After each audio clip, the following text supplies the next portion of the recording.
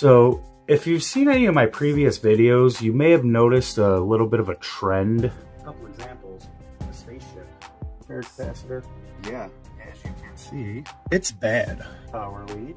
Very good. I have had that but I think I figured out a way.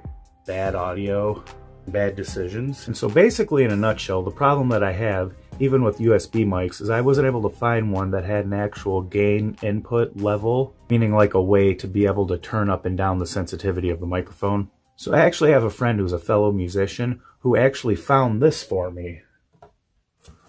The iRig Mic mic, sorry, mic.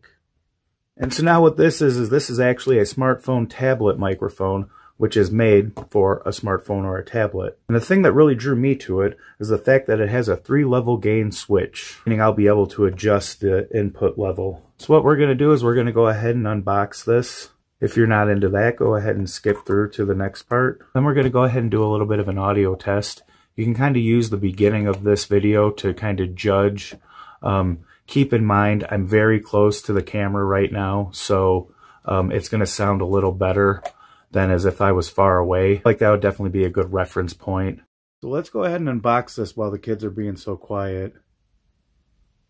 I wonder why they're being so quiet.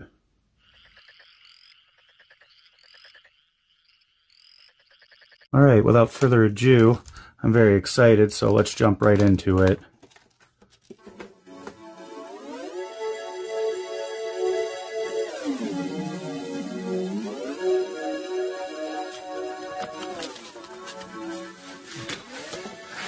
Ooh.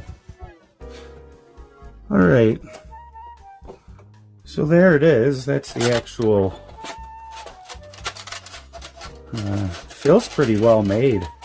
Got some weight to it. Let's get this loud plastic out of here. And this obviously is the three-way switch I was talking about, which is very nice. I think the, that's going to help me out a lot. So it does come with a mic holder, which is very cool, and as well as a carrying case, which is, it's pleather. It's not too bad. Anything in there? No. It does say uh, iRig mic right there. Now what's cool about this is that this actually is uh, the input, but there's also a microphone output there, so you can hear in real time what you're recording. And um, okay, so first impression of it, I really like it. I think uh, it feels really well made. It's nice and heavy. But uh, I guess the proof will be in the pudding when we go to uh, use it. Do you have anything to say? Thank you.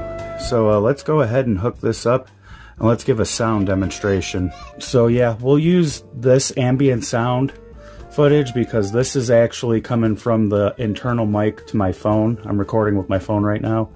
So uh, we'll kind of compare this to after when we hook this up.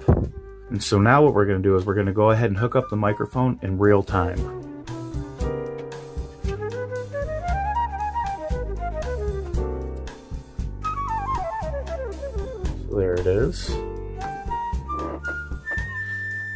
Grab this. I'm gonna have to bump you a little bit. Sorry. Move you a little bit. Okay, so right now it is set on the highest setting and so it should be a little bit hot. Um, I should be coming in loud and clear from this, I'm going to go ahead and go down to the second setting, which is that. So this is what it sounds like on the second setting. Test, test, one, two. I'm not really going to know exactly how it sounds until I watch this back, but uh, hopefully we should hear a difference. And uh, now I'm going to go down to the lowest setting. So it should be harder to hear me. Um, I don't really know, you know, how low it goes but hopefully, you know, it should be different enough for us to hear a difference. I hope it sounds better. We'll go ahead and move it back to the middle for now. I would imagine middle would be about where we would want it. But yeah, it seems like this is definitely the good setting, probably for most talking head things that I would be doing. But uh, what I kind of wanted to do now is go ahead and do something that I haven't done in a while. I'm very, very happy that I'm actually getting to do this. And that is record, get fiddle, an acoustic guitar. Now, I do actually have a guitar interface that connects to my phone, but that only reproduces the sound that the pickup inside the guitar makes. So it's not exactly, you know, a proper acoustic sound. With this, I will be able to achieve such results. I find them all.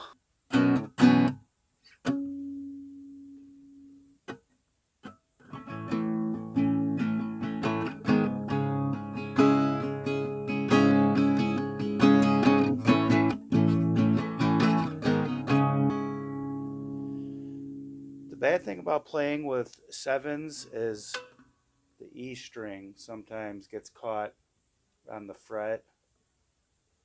And uh, yeah, these frets wires aren't sticking out too much. It's just, I don't know. Everyone's into using the sevens now, so figured I'd follow suit. All right, so that was on the medium setting. I'm going to take a listen and see how that sounded. And, uh, maybe come back and then try different settings depending on how it sounded. Maybe we won't come back, I don't know.